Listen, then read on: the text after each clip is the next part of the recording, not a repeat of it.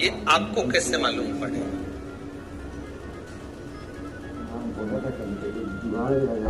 पितृ भूखे हैं। इसका तो वर्णन हमने पहले कर दिया कि रात्रि को जब आप सो, सोने के बाद में एक डेढ़ घंटे बाद अगर आपकी नींद खुल जाए, एक घंटा, डेढ़ घंटा आप सोइए, उसके बाद जो नींद खुली तो एक डेढ़ घंटे तक अगर आपको नींद नहीं आ रही है, रात्रि को सोने के बाद में एक घंटे बाद जब उठे तो आपको प्यास लग गई। भूख लगने लगी, प्यास लगने लगी कि मेरे को पानी पीना पड़ेगा, घबराहट हो रही, पानी पीना पड़ेगा। एक डेढ़ एक डेढ़ घंटे सोने के बाद अचानक नींद खुले और आपको प्यास लगे, समझ लेना आपके पितृ भूखे हैं और प्यास।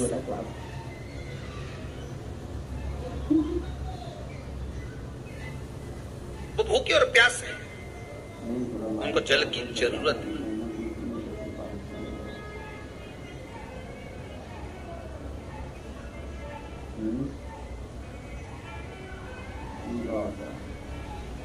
किसी भी नदी में, सरोवर में, कुंड में, बावड़ी में, तालाब में, आप तीर्थ में जाकर जब स्नान करते हैं तो स्नान करने के बाद एक काम का नियम बना लो कि अपने हाथ की अंजलि में जल लेकर अपने पूर्वजों को देना है।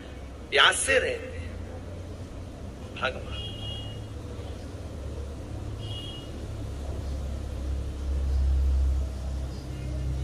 पद प्राप्त करो। तीन वृक्ष पितरों के तुल्य हैं। नेमिशरण की कथा में भी कहा था।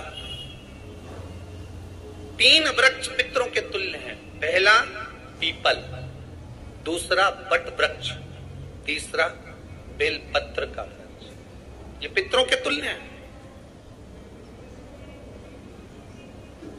अगर आपको रात्रि में नींद नहीं आ रही है ऐसा लगता है कि रात्रि को एक घंटा, डेढ़ घंटा सोने के बाद कुछ गलत गलत विचार आने लगते हैं। नींद सुबह तीन बजे तक, चार बजे तक नहीं आती। चार बजे के बाद फिर नींद आती है।